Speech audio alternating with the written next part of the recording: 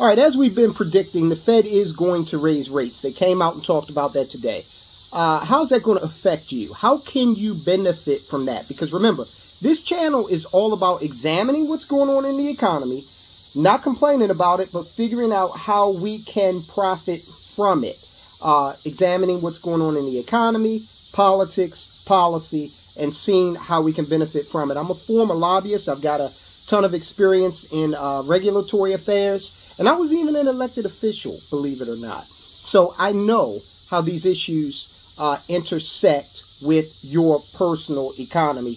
And I know, because I've seen it done a thousand times, wealthy individuals and organizations win economically no matter what happens. They just know how to play both sides, uh, both eventualities uh, in terms of policy decisions that come out. Now, before we get started, I have a feeling because we've recently revamped this channel. I've got a feeling that YouTube, we're not going to be one of YouTube's favorite channels. Uh, so I anticipate not a lot of promotion uh, from YouTube. I don't know. I would love it if they did. But we're getting into some controversial topics here. And also, we are, uh, you know, kind of speaking truth to power. We're just going to be completely honest. And I think the same thing that I brought to local radio here in Maryland that actually got me uh, and a good friend of mine kicked off of local radio. Me and two good friends of mine. We told the truth, okay? So I got a feeling we're not too popular with the establishment when we talk about these particular subjects. So like the video, share the video, subscribe, uh, help us out there. Now, consumer prices, the CPI, Consumer Price Index, is up 6.6% annually.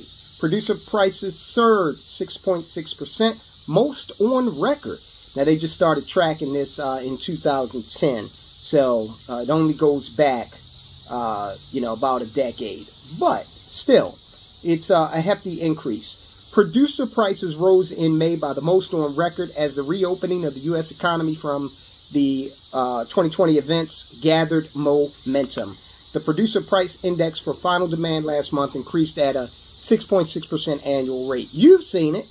You're out there uh, you're purchasing goods and services. You've known this. Janet Yellen and Jerome Powell have been out there lying, saying, oh, no, we don't see any uh, inflation on the horizon, this, that, and the other. We did a video about that. And uh, they just finished saying that months ago, and here we are. Real world prices are up. Now, of course, if you live in the rarefied financial air that they live in, you know, this is all academic, but this is real to us. We need to know how to navigate these types of situations because uh, we need to know how to profit from them. So let me switch gears. You know that the consumer price index is up. Uh, what is going to happen as a result of that? Well, the Fed had a meeting this afternoon, and they're going to, uh, they've signaled that they're going to raise interest rates by the end of 2023. Now, the market's already reacting to that. They're down uh, today, It's fine.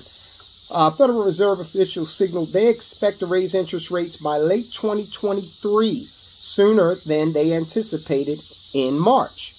As the economy recovers recovers rapidly from the effects of the pandemic and inflation heats up. So now now now it's okay to admit for some reason that inflation is here. They're still giving you some time to, you know, understand what's going on, give the market some time to kind of be weaned off of this uh, easy money policy that they've had for uh, the last few years. The median projections show they anticipate lifting their benchmark rate. The discount rate is what the Fed controls. They're going to raise that, or project that they will raise that, by 0.6% from near zero by the end of 2023. Now, how can you play this to win? All right, first of all, it's going to make money more a little bit more expensive to borrow. Okay, now we're down around zero right now. It's not going to stock market will will do a short term panic as if they're going to raise the rate to ten percent. They're not. Uh, 0.63% will mean that you will get, uh, you'll see the banks able to raise their rates on money that they loan. So if they're able to do that, they become more profitable because they'll include a spread in there.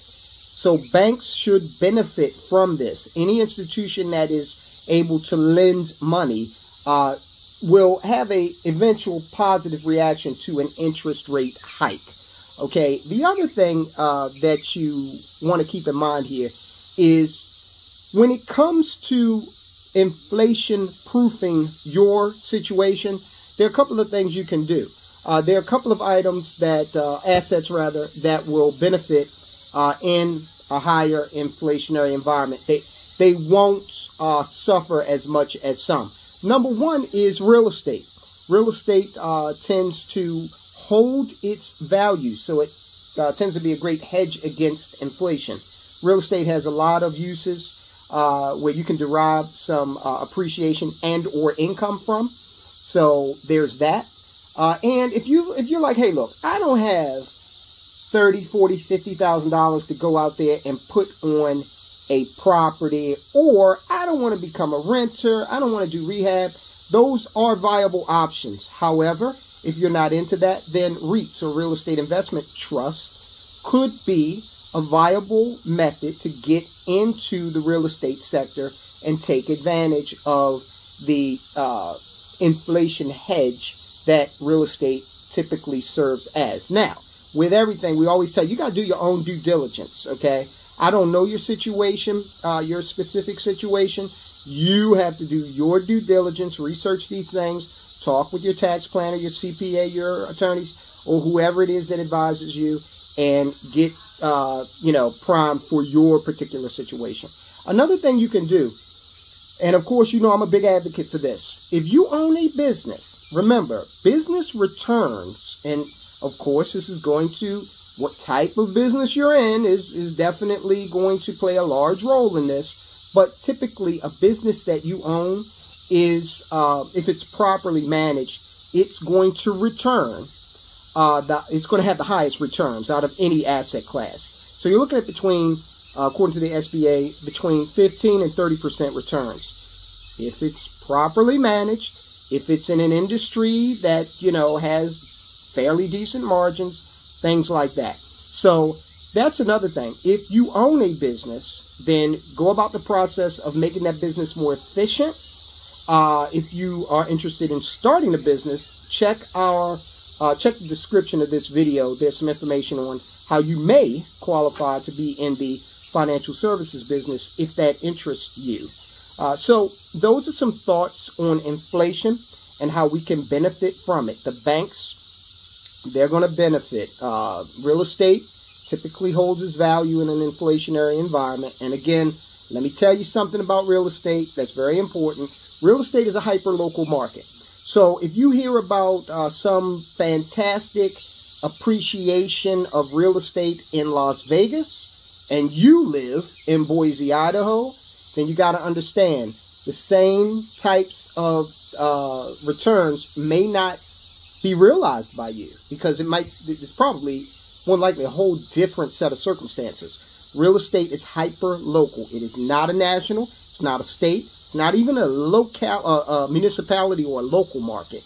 It's hyper local, meaning that it's in many cases block by block in terms of the value, style of the home, location, all that stuff.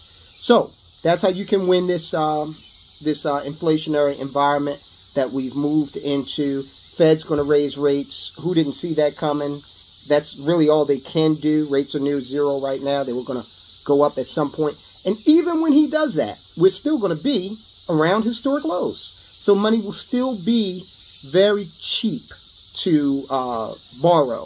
And that means that you can go out and uh, put money to work, leverage it to build your business or do the things that you uh, want to do in order to become more financially uh, independent. And that is what we're all about financial independence. This world is changing quick, fast, in a hurry. And if you are not prepared, then, as, as I've said before, you're going to be looking at universal basic incomes, Medicaid, all those things that just allow subsistence living.